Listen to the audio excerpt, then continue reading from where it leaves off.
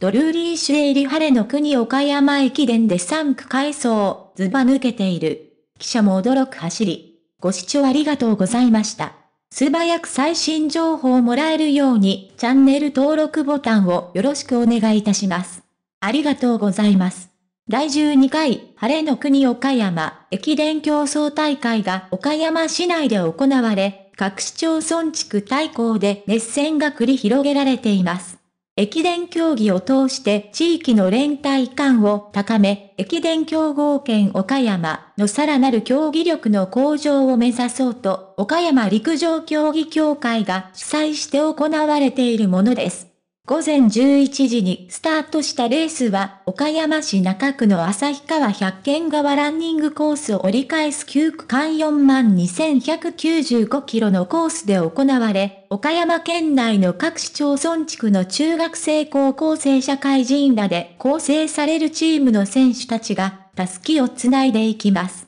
中でも注目を集めていたのは、中学生女子が担当する3区3キロを走った津山市チームのドルーリー・シュエーリ選手、鶴山中学3年です。15日に行われた都道府県対抗女子駅伝で17人抜きと、驚異の走りを見せた中学3年生の外戦団に、沿道からも大きな声援が送られました。走りを見た RSK の記者は、ドルーリー選手の走りはダントツで速い、ずば抜けている、と話しています。速報では、5位でタスキを受け取った津山市チームのドルーリー選手は区間新記録、これまでの記録を10秒更新する9分40秒を出し、3人抜いて2位まで順位を上げました。RSK 山陽放送。ご視聴ありがとうございました。